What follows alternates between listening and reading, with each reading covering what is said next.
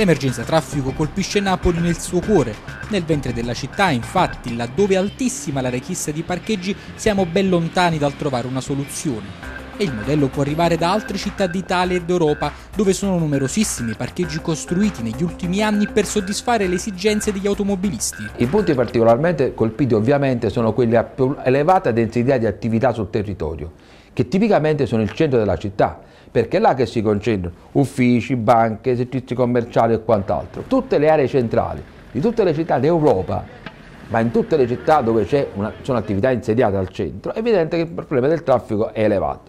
A Napoli in particolare, data la sua configurazione, l'orografia del territorio, è difficile avere strade di dimensione elevata come capita in altre metropoli, Parigi piuttosto che Vienna, piuttosto che altre.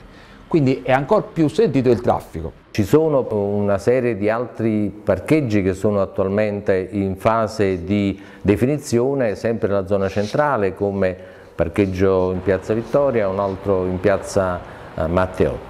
Eh, buona parte degli altri parcheggi eh, riguarderanno eh, zone di, di, eh, più periferiche proprio per facilitare l'interscambio, così c'è un potenziamento del parcheggio di via Brin per esempio eh, circa altri 300 posti, eh, la realizzazione di parcheggi nella zona di Chiaiano e del Frollone che consentiranno di scambiare con la linea 1 della metropolitana, un parcheggio a Bagnoli che consentirà di scambiare con la Cumana e così ehm, altri parcheggi eh, ancora nella zona di, eh, del centro direzionale, insomma una, una serie di, di, parcheggi distribuiti eh, sul, sul, territorio eh, cittadino.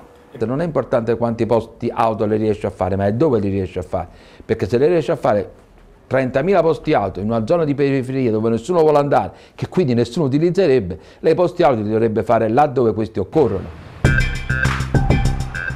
E una delle polemiche che nel corso degli anni è tornata alla ribalta è proprio quella dei parcheggi nel centro cittadino.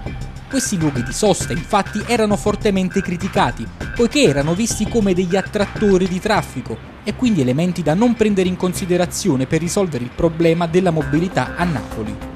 Il parcheggio in quanto tale ovviamente non è un attrattore di traffico, nel senso che eh, se io facessi un parcheggio nel deserto del Sahara, la gente non ci andrebbe a parcheggiare per il fatto che c'è il parcheggio, punto. Okay. Il parcheggio si realizza invece perché ci sono molte persone che vogliono andare in quella zona con, utilizzando l'autovettura personale e come detto prima il parcheggio è il rovescio della medaglia, uso l'auto perché posso parcheggiare, ma voglio andare in quella zona non perché c'è il parcheggio, perché ci sono attività insediate, come le dicevo prima, banche piuttosto che negozi o quant'altro, e per recarmi lì devo poter parcheggiare, ma vado là per effetto delle attività, non per effetto del parcheggio. Quindi il parcheggio è una conseguenza delle attività. Allora, secondo me è sbagliato immaginarlo come attrattore di traffico. Noi vogliamo che i parcheggi siano realizzati non sulle strade o sulle piazze di Napoli, ma nel sottosuolo o in silos sopraelevati, cosa che avviene in tutte le città del mondo, quindi non stiamo scoprendo l'acqua calda. Quella che è l'offerta di parcheggio, soprattutto nelle zone centrali, è consistente.